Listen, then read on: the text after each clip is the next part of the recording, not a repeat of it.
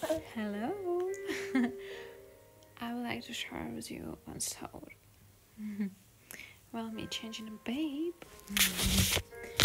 so, if someone gives you a feeling that you are bad, it's uh, it's disrespect, and uh, it means they are not correct.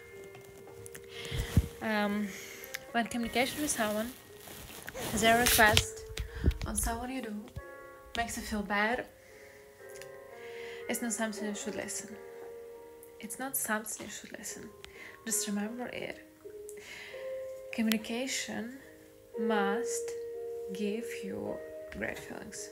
It's what God created them to be.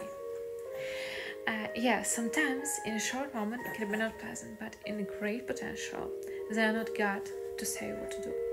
God will say what to